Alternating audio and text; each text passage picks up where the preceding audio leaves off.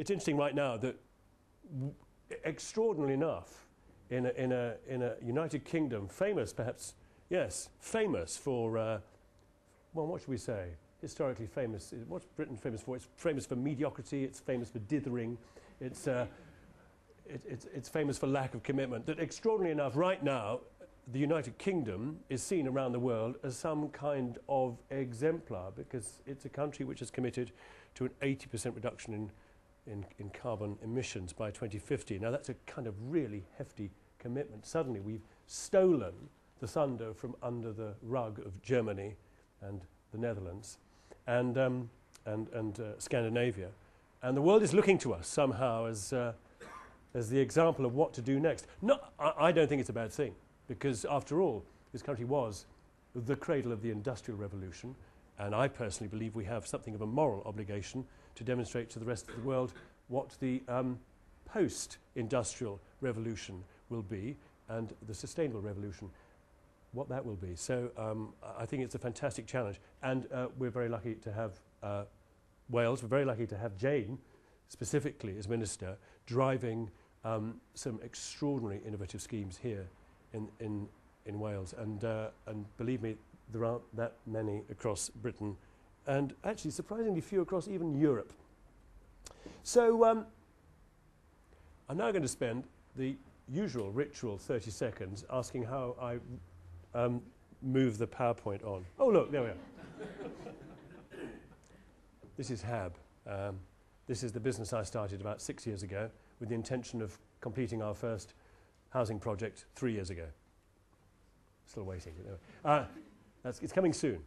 Um, it stands for Happiness, Architecture and Beauty. Uh, we could have called it Sustainability, Happiness, Architecture and Beauty, but that would have spelled shab. So we, didn't, we didn't want to do that. We didn't want to build shabby housing. Um, and I'll talk a little bit shortly about the things that we hold dear as a business. But first of all, I just want to talk to you briefly uh, about this issue of what eco housing is and, and why we need it. And, um, and what drives us in our business uh, to, to do what we do. And it's this it's the fact that uh, we currently occupy this small sphere in a corner of the universe. Um, without us on it, this small sphere would just be another little mote of dust. But it's very, very important to us. Um, sadly, we've only got one, uh, despite the fact that if the entire global population of 7 billion were living to the standards that we enjoy in this part of the world, uh, we'd need three planets. Sadly, we don't have three. As a friend of mine who runs bioregional charity said, um, there is no planet B. Uh, but, or C for that matter. The good news is that if we, were, um, if we were living in America, we'd need five planets. But we don't. It doesn't get round the problem that we do not have quite enough resources for us to get by and for generations that follow us to get by. The population expands, the resources remain finite, and global standards of living and global consumption patterns increase. So, what I love about this, this little philosophy called One Planet Living is it sets out some very, very understandable objectives about how we should be working in tandem with the resources we've got. So it sets as its first objective zero carbon. You'll be familiar with many of these. There are seven here. Zero carbon, zero waste. After all, you know, if resources are scarce and thin and expensive, why, why would we waste them? Why would we throw stuff away when there is no away? Why would we happily gobble through materials and jettison them when we can easily and happily renewable, uh, re re reuse them? Sustainable transport, big objective. Uh, local and sustainable materials in everything from what? Um, houses to trainers and jeans, perhaps. Local and sustainable food, an inroad, which many actually local authorities and organisations are now making. For example, it's, it's quite difficult now to get to any part of this country and not find a local farm selling local produce. Within 10 years, we've gone from uh, buying entirely everything at supermarkets to local farmers markets now to farm shops to farm shops rivaling the supermarkets on local turfs. Uh, sustainable water. Well, of course, in many countries these days, water is traded at commodity prices higher than that of oil. And uh, natural habitats and wildlife, the idea of biodiversity, maintaining all the time at a, at a, at a period when species are disappearing off the planet at a phenomenal rate, maintaining uh, our relationship and our respect for the ecosystems of the planet. Now, why would you do that? Why would you want to uh, respect uh, the habitats of polar bears? Why not just let the polar ice caps melt? Why not see the tigers, the pandas, and the, the rhinos disappear? Hmm? Well, it's because, of course, they form part of an ecosystem on which we depend our timber and our fish and our, our foodstuffs and our oxygen, and most of the resources we use tend to depend themselves on uh, an ecosystem continuing and not being threatened. Um, otherwise, the entire planet's going to end up looking like this. Uh, and why? Well, fundamentally, as I mentioned before, it's to do with patterns of consumption, but there is one unfortunate truth underlying, um, underlying consumption of goods in the world and consumption of materials, and that's this. There are just a great deal of us, and that number is increasing. Um, the book I've written about is a book about, um, it's a book about the S word, but I don't use the S word very much. It's difficult to talk about sustainability in as much as it's difficult to talk about beauty as an abstract concept. Life can be more or less sustainable. The fact that we're all sitting here breathing means that um, we're, we're, we're, pumping out carbon dioxide. We're, we're using resources. We're using the heat in this building, the light. You all had lunch, I hope, and you all have supper. And, and you all go out tomorrow and buy something. And without even trying, we have an impact on the planet. It's a question really of how, how increasingly sustainable that is, more sustainable or less sustainable. Um, and um, in this book, I, I, I, tackle this issue of, of, of population. Uh, I went to Mumbai a couple of years ago, well, 18 months ago, to film there um, and to live in, in amongst the people who live in a million people in one square mile in the slums of Mumbai and Dharavi. And um, it, was, it was, became pretty apparent to me that uh, people can get by in a lot less than th than the amount of stuff that we consume in the West. Now, um, I mentioned before seven principles which would be all fam familiar to you, but here are three more that make up the 10 objectives of One Planet Living culture and heritage, equity and fair trade, health and happiness. Now, without thinking about it too much, you realize that those last three points are all to do with this species here, not the pandas and not the polar bears but human beings, because in the end, this, this, the one species whose continued survival is threatened, of course, is us. And so One Planet Living takes human beings at its core, at its center. And um, it's interesting, I keep coming back to the Brundtland definition of sustainability, which was that one set out um, in 1987 by the Brundtland Commission. And what they said was uh, sustainable development is that which, which meets and services the needs of the existing generation, but without compromising the needs of future generations. It's about people. It puts human beings and our survival and our happiness, our culture, our heritage, and our health at the center of environmentalism. So, on the subject of uh, happiness and uh, environmentalism, um, I thought I'd show you just a few pictures of some, uh, some eco vehicles. Um, so I'm going to ask you, ask you, uh, uh, it's a rhetorical question. Don't, don't, worry, you don't need to answer. Um, which of the following cars is the eco car? Is it the Range Rover? I think it's the Range Rover Sport. I don't know. Is it the Aston Martin? Is it the, um, the 1982 restored vintage Ferrari with the model posing on top? Uh, is it the Toyota Prius? Is it the little electric G-Wiz? Ah. You see, you can get 25 of those for each Aston Martin. or is it this, just to throw a uh, googly into the mix? Um, well, the, the thing is about the Aston Martin is that 96% of all, and I don't work for Aston Martin, by the way, and they've never paid me any money, but the 96% of Aston Martins that have ever been made are still in existence. Um, generally, they're fairly low mileage. They're beautiful pieces of craftsmanship. They're made with extraordinary amounts of love, dedication, and human energy in a factory in the UK. And um, most people that own them drive them at the weekends. The Toyota Prius is made in Japan. It's got lithium ion batteries, which are quite difficult to recycle, and it's a car which is mass produced in a factory in entirely different circumstances with a much shorter life. Now, the question really is, you know, which is more ecological? Is it the Toyota Prius driver who drives 30 miles a day to and from work, or is it the Aston Martin owner who's got the Aston Martin at home, who drives at the weekend, who works from an office across the yard from where he lives? Well, of course, in the end, the answer is about all these vehicles is that none of them are ecological because they all require enormous amounts of materials and resources to make, and they're, they're all ecological. What matters is not the object, but us, how we consume and use the objects. To have 16 cars might be considered to be less than ecological. To have one and to drive it 100 miles a day is, to, is less than ecological. It's our behavior, it's how we behave that determines how sustainable these technologies and these products are. And for, my, for, for what it's worth, I, I, sort of think that we have sort of got to the age of the car anyway, the end of the age of the car anyway, more or less. I think we're witnessing the sort of last great flowering of the automotive industry.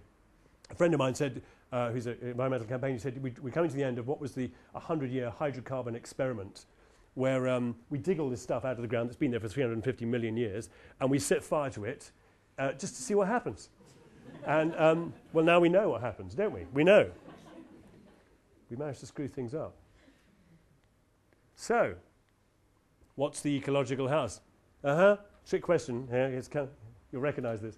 Is it this? Is it Ben Law's house made from coppice timber, heated with coppice timber?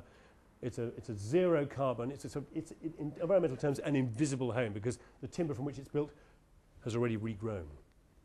Is it this, a, uh, a 16th century farmhouse which is built from materials from the fields around it, which has been there for 500 years and which will continue to be shared by future generations, but uh, which might run on oil or gas to keep it warm. Is it this, a, a super insulated modern Scottish building in concrete with large cladding that's super insulated with mechanical ventilation, heat recovery, uh, ground source heat pump, all these technologies pumped into it? Which is the eco house? Is it this one? Probably not the point about timber is that you can dig it out of the, off, off the tree. I mean, if, if, a tree falls over and dies, it releases carbon dioxide and methane back into the environment. So it actually behoves us all to go out there and chop down trees. We should be chopping down trees all the time and building out of them because that way it locks the carbon in the timber into the thing we're using it for. At the very least, we should be using timber as fuel, uh, but when we've considered it for other purposes. And certainly what's happening to this building isn't, isn't good for the environment. Is it this? This is a super glamorous development in Holland by S333 Architects. Well, the interesting thing about the. Um, how many architects here, by the way? One. Uh, how many architecture students, I should say? Come on, don't be shy. At least two. Um, the 20, 20th century was, of course, the century of the, uh, of the glass walled minimalist, white painted Miesian box. International modernism, which sort of grew and flourished in the 1920s across Europe. Took a while to take off in the UK because we were suspicious of all things European uh, and still remain so. Um, and, um, and nevertheless, um, I've been filming quite a lot of people building this kind of nonsense over the past 10 years. Now, the interesting thing about the glass walled box is that it's only just come of age. For the whole of the 20th century, you could put a glass-walled box anywhere on the planet. You could put it at the North Pole, you could put it in the middle of the Sahara Desert, you could put it in the tropics of Amazonia, and you could put it in Surrey. And wherever you put it, you could control the internal environment for human beings by pumping lots and lots of fossil fuel energy into it. So you could cool it, and you could ventilate it, and you can heat it, and you can make it comfortable for people. It doesn't really matter where it goes on the planet. Um, in the early days of environmental sustainable construction, people would say, no, no, no, we don't want that style of building because sustainable homes should be made out of timber, they should look hairy and woolly, and they should be, um, they should be entirely at one in, in their aesthetic with their environment. I have a slight problem with that because that sort of, in a way, is almost as fascist, it's almost as, as prescriptive as the, the advocates of international modernism. So, um, what does an eco house look like? Well, it is now possible, thanks to mechanical ventilation, heat recovery, uh, passive design, and, um, and, all kinds of other clever technologies, uh, triple glazing, for example, to build internationally modern architecture and yet make it work in extremely cold environments and, and yet run on minimal amounts of, of fuel inputs. So, for example, this is the. Uh, it's very noisy in Cardiff, isn't it? it and, and this, is, this is the posh end, isn't it? Um, th th this is uh, England's first passive house. I know there are many, many in Wales already, but I'm from England. And this is England's first passive house. It's a, a concrete, semi-buried structure. We filmed it. It was at the beginning of the series of grand designs that's just aired. Um, it's in the Cotswolds, has triple glazing. Uh, concrete floors, a concrete structure because it's buried into the ground. To all intents and purposes, it's an international modern building, but it has almost zero energy requirements. Mechanically ventilated heat recovery that takes all the heat from the existing internal environment and transfers it to the fresh incoming air. It's quite it's quite technologized, this building, but it demonstrates that it's possible to do this kind of thing without it looking too hairy. So, really, a, a green, a sustainable, an eco building can, can look, well, can look however you want it to look. Um, some people would say you can build it out of any material you want to. You can build it out of concrete and steel and glass because actually in use, in use over 50 years or so, it is the it is the running costs of the building which matter more than the embodied energy in the materials in the building in the first place. Now, I sort of buy into that, um, but I also, I, well, I'll come to it in a second, I also think we should be looking at much more innovative materials. Um, what we certainly should be doing is, is answering this question when we build houses. And after all, the, the talk of, the title of this evening's talk is to do with context. Now, um, in terms of how we design and what we build out of, um, the reason I started HAB in the first place was partly a response to, to, to, all these questions that One Planet Living throws up about the kind of homes we should be living in. But also, it was in response to this. This is a, a development in um, Gateshead. No, I beg your pardon. No, sorry, sorry. It's in Llandudno. Um, no, sorry, actually, it's not. It's, um, it's Cornwall. No, it's... Uh, anyway, look, it doesn't really matter, does it? It's everywhere. That's the point. This style of architecture isn't a style, it's a sort of thing which has grown up as a sort of bad copy of a template of a poor quality reproduction of something that was scanned on a photocopier one day 20 years ago by the wife of the MD of a development company. It's horrible. I mean, we, we, we build houses that have no architectural validity, which don't, which don't even belong to a recognizable style, which certainly don't belong recognizably to a place. And my one big beef here is that if you design, if you can design places, buildings, which look as though they belong where they are, then generally people respond to that quite positively. They say, oh, that looks good there, that looks nice. Because architecture is not just about, uh, it's not just about the interior, it's not just about light and space and white emulsion. It's, a, it's about encountering stuff in the public realm every day. We, we don't have any choice about the buildings or the quality of the public realm that we encounter. We have a great deal of choice about art, about music, uh, about sculpture, about literature, things that we can engage with entirely at will. We can put down and walk out of the gallery. But architecture, you can't. Architecture is there. It's in your public realm. It's in your face all the time. So if you can make architecture fit, if you can make it seem somehow resonant and responsive to where it is, then my argument goes, well, then people like it a bit more. Matt, for that matter, when you design housing that way, people feel that um, they might rather enjoy living there, and for that matter, staying there, and even trying to make a community there and get to know their neighbours rather than see a building just as a shell and just as something to use on the property ladder to move up and, and sell on. Um, this is a, architecturally a lovely, very contextual place which is Swindon, further down the M4 corridor. It's one of a number of towns on the M4 corridor, all of which look like each other. Um, and, uh, but Swindon you can recognise by the, the presence of the, um, the futuristic tower in the middle of it. Uh, and by, of course, its magic roundabout. Look carefully at the sign. Um, the magic roundabout. Swindon, by the way, is in the middle of an extraordinary landscape. It's just on the edge of the Cotswolds, it's above the Marlborough Downs. There is just down the road Avebury, which is a four and a half thousand year old stone circle. Swindon has its own stone circle. Uh, and this is it. And um, when I talk about Swindon, we talk about context. It's something we're very passionate about.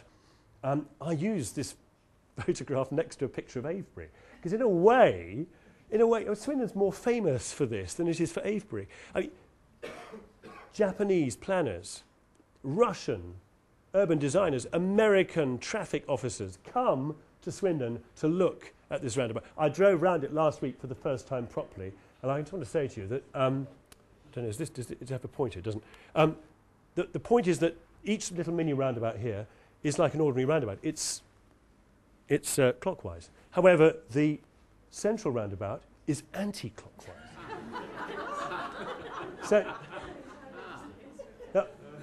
what, so what you can do is you can drive around the outside of this all day, all day. You can take that road. I did this. I did this eight times, which I think is probably illegal, but it was great fun. And at any point, you can peel off into the middle. And actually, you can choose which route you take. You've got a number of choices of route into the middle. And once you're in the middle, you can just keep going down the middle. Using this principle of reversing the polarity as clockwise, anti-clockwise, clock, it, it would be possible to build a roundabout of infinite complexity, of hundreds of circles, which you could then call Milton Keynes. anyway, my point is about this stone circle is that it's, it's as unique and as important to Swindon. People laugh when I say this, but I really believe it. As, as Avebury is to Avebury. It's part of the history of this place. It, it's what makes Swindon. It's what makes it famous. Um, this is also what makes Swindon famous and has made it famous around the world for, um, well, 150 years now, and that is the fact that Great Western Railways, locomotives and carriages were all built there, and they then travelled all around the world, these, these machines. Um, to the extent that there's a huge Sikh population in Swindon, and that's because the Sikhs in India ran the railways, and when they decided, some of them, to come to the UK, where would they go except for Swindon? It had a the plate on the side of the locomotive said made in Swindon. Where else would you live if you were a railway worker? Um, so um, I talked earlier, mentioned that, dropped into the, into the conversation this little word context. And um, for most architects and designers, context is, a, is, is, is an unexplored term. It sort of usually describes, and in planning terms it's quite clear actually, usually describes the, the, um, the immediate locality of something. So you might talk about, for example, designing a new building to pop into a slot between two existing ones, and on the new building you're choosing a roof the same colour as the ones either side. It's sort of that simple. It's talking about the immediate environmental sort of little sets of reference points with which you can then design. Whereas what we like to think of context as is, is something much deeper, much richer, much wider, and in a way much more abstract and fuzzy.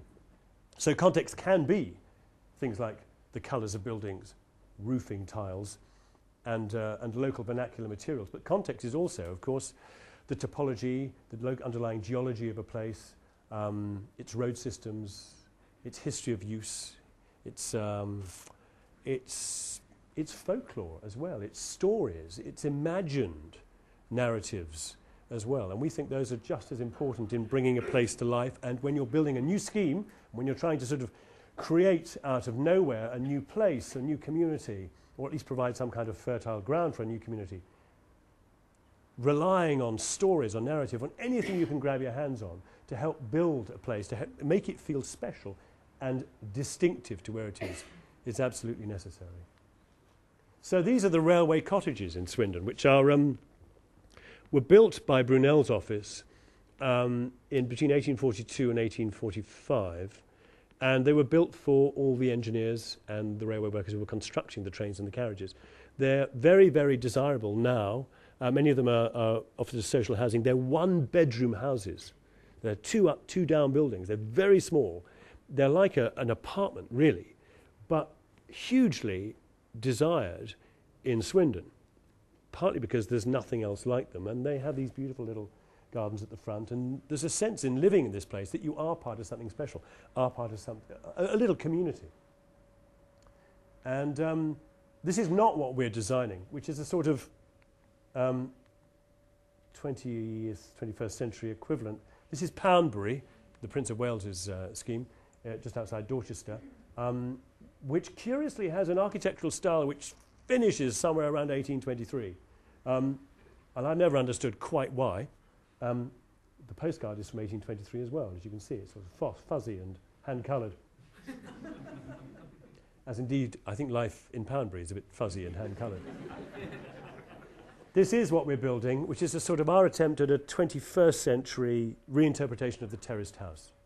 So um, just to give you a, a, this is our first project. We're building uh, two projects in Swindon. We're building uh, two projects in Stroud. And we're also uh, looking at Oxford and uh, one or two other places in, in the, the west of England at the moment. Um, and our schemes are for between anything between uh, 40 and 200 homes, each scheme. And um, what we're trying to do is to design each one to look entirely bespoke and responsive to where it is. We use proper grown-up architects, uh, different practices on each project. And um, we spend a lot of time working out what happens outside the buildings as well as inside.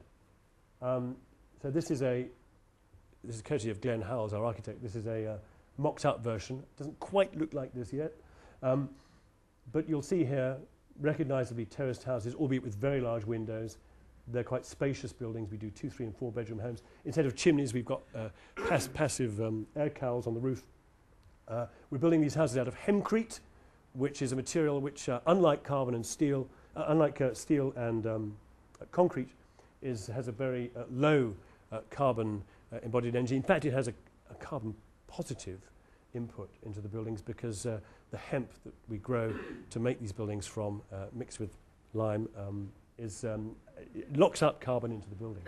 Uh, also provides thermal mass, very high insulation values as well. So these are code level four and five homes, and I cannot stress enough that we are building these and this entire scheme for standard housing association budgets. We're building code level four and five homes for, for about 104 pounds a square foot, um, which means that we can win, gain, and, um, and build out projects at a time when developers find that quite hard.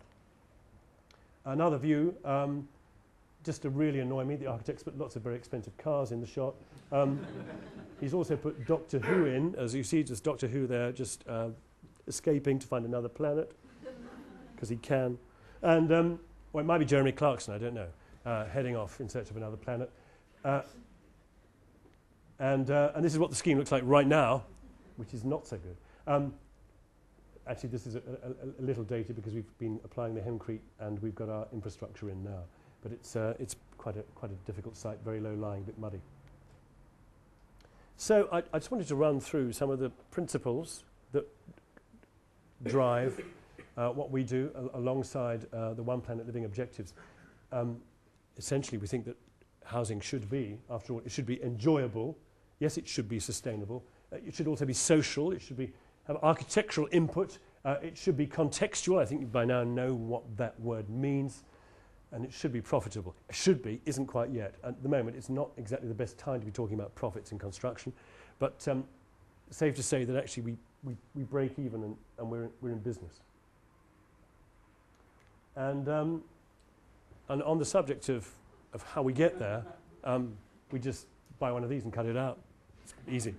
Uh, we're working with um, uh, Glenn Howells, with um, Paul Monaghan, AHM, and with Deborah Saunt and David Hills, who make DSDHA architecture, and uh, DSDHA have just won Architect of the Year, and indeed Schools Architect of the Year. So we like to, if we can, strong arm the, uh, the best in the business to come and design social housing for us. Um, but I'm, I'm sort of slightly avoiding the question of how we, how we get to this uh, this magical world where we can create these kind of sustainable communities and eco homes. Um, when indeed we've already seen that ecological architecture is really what you make of it. And after all, I mean, in Britain, uh, I think we, we have the time honored tradition of controlling our environments in our homes um, by turning up the heating to full and then controlling the ventilation by opening the windows. now, that's, that's how traditionally we've always worked. Uh, it gets a bit hot. Oh, quick, open the window. Maybe February, but just open the window just for a minute. Um, we, we, we, we, we're not very good at managing and controlling and monitoring the way we live. And indeed, uh, that's, that's, that, that's part of where we're going with our projects. I was talking to Jane earlier about this, about how important it is for residents moving into buildings which are properly designed, ecologically designed, that are perhaps different, that, that residents do, uh, do get to understand and are trained in a way how to, how to operate their buildings. But the point I'm trying to make here is that what we're doing, and indeed what Jane was referring to earlier, are projects which are being built in a recession, which architecturally and in terms of their environmental performance are incredibly successful, and yet, in a way, don't quite deliver what you would call full sustainability, certainly not one planet living objectives. How do you, in building houses, how can you create sustainable water or, or, or sustainable transport systems? Well, the answer is actually with architecture, you can't. What you need is one of these. This is our secret weapon. This is Luke. Luke is a landscape architect. Now, for most developers, and most people indeed, landscape architecture is considered the frilly stuff that you do once you've built your housing scheme and you're about to move people in. You lay some turf quickly and plant some trees and dig a hole for a pond, maybe. And that's what landscape architecture is. What's really interesting, however, is if you look at what makes places sustainable, what makes traditional communities work, what makes the best European schemes work. It's stuff that happens not inside homes, but outside homes. It's the stuff in between the buildings. And actually, that's where the architecture stops, and for that matter, where the architect's world often stops. What we like to do is to do a lot of design work outside the front door.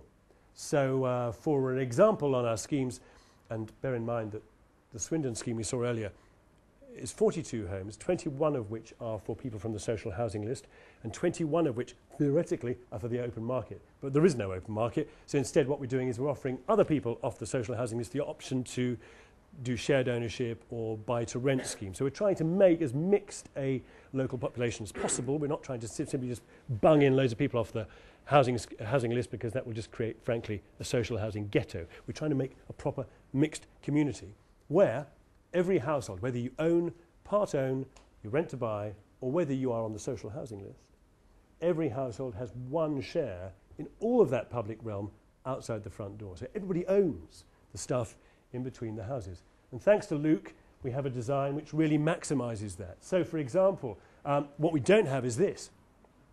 Well, you wouldn't have that, would you, with 42 houses in Swindon? But what we do have is a car club where people share ownership of cars, reduces the vehicle numbers on the street, reduces car ownership, and also increases the cash in people's pockets because uh, membership of a car club works out about a third to a quarter of that of, of owning a car. So instead of having three cars in your family, or even two, you might just have one and then join the car club. Electric scooter club, that's the alternative. And indeed on the Stroud project, and Stroud is very, very hilly, you can't really persuade people to bicycle everywhere. Um, so we're offering an electric scooter club uh, to help uh, people there. And uh, obviously, uh, bicycle, a bicycle share uh, scheme as well. That's, we're putting that into Swindon, and as well as, as bicycle, bicycle storage. Um, there's another piece of technology we're putting into buildings which we've been developing called a shimmy, which is a bit like a sort of home portal. It's a computer meets one of those Wattson meters that you can take around the house to see how much electricity you're using, meets the local bus timetable. So instead of having to walk to the bus stop to see when the next bus is coming, on your little home portal at home by your front door, there's a little panel that tells you, just in case you thought of leaving the car at home and catching the bus into the centre of town to do the shopping. And um, also in the hands of Luke is a very, very complex uh, approach to how we manage water, not just, um, not just as a resource. We're creating water, of course.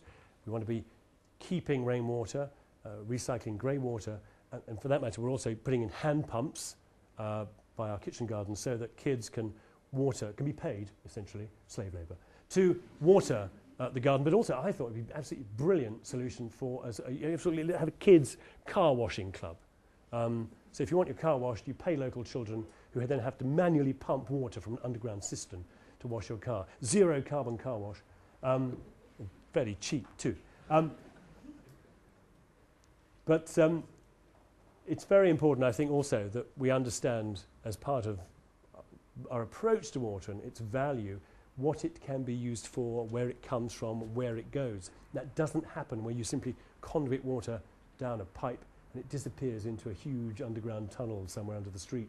So instead, we like to, first of all, give, give children an opportunity to play in it and put it down runnels and into reed bed systems and ponds so that people can see water and understand when it rains what happens to that water, where it might go, what it might get used for. And uh, you'll remember one of the big One Planet uh, objectives is, is local and sustainable food. And as part of that strategy, it's important to encourage people to grow as much stuff as possible. So, for example, on the Swindon scheme, we have uh, vegetable uh, shared kitchen gardens, shared kitchen gardens with raised beds, polytunnel, greenhouse, and um, a wheelbarrow. And for that matter, a shed, a shared shed too. Um, Luke has a lovely phrase. Um, he likes to design fruity streets um, with edible hedgerows. And um, indeed, our car park on the Swindon project is itself an orchard. Uh, Swindon Council don't know this. Uh, we, we put in an application to do this, to, to, to be able to park under the trees on, on Grasscrete paving. And they said, you can't do this because uh, fruit will fall on the cars and people get very annoyed about that. And moreover, fruit is a slip hazard. so we said, yes, okay, fine, we'll put in birches or lime or something else which really annoys people. But we're not going to. We instead, we're just going to put in some plums and apples and see if they spot it. Um, that local food project, of course, fits into um, fits rather scarily and uncomfortably into a new national government agenda of localism, um, whatever that is, big society, whatever that is. I'm not sure. I think little society is what we've been trying to work out and work on. Um, but certainly, anything which encourages people to think locally in terms of resource use, in terms of food growing, in terms of transport, has to be a good thing. It reduces our impact on the wider planet and increases our understanding of resources and their availability within a place, within the local context. It rains a lot in Swindon, luckily. It doesn't in the east of Anglia. And um, of course, um, I, I, put this photograph in because it's just a, represents a blatant breach of health and safety. Uh, no, I didn't. I just put it in because it leads me here. Notice the length of the lead. The average power tool in the UK gets used, according to Bioregional, for four minutes in its entire life. And so, if we could just, just, just bring ourselves to buy a power tool and share it with our neighbours, wouldn't that be a great thing? Wouldn't it be great if between 10 houses there was one shed, and in that one shed there was a lawnmower and there was a, uh, a drill and a sander and some other tools. And outside there were two or three cars and some bicycles. Wouldn't that be great? There are schemes in Europe that work on that basis. And indeed, in Stroud, that's exactly what we're doing. We're asking people to share. Because sharing, it's, very, it's a very, very big word with us, sharing. Sharing, of course, reduces impact. It promotes social contact. It begs of people that they get on, that they don't, that they don't have war with their neighbours. And it creates a little more social cohesion when it works. And it is the sharing in the ownership of land, the sharing in resources, the sharing in transport, the sharing in food production, the sharing in materials and tools that really underscore everything that we try and do. Now, this is a big ask of people, isn't it? Because as a society, we, we're very, very used to living in our, our little worlds, each with our ownership of our cars and our tools and our, our, our, our, our power and our energy. And, and woe betide anybody who's going to try and take this away from us.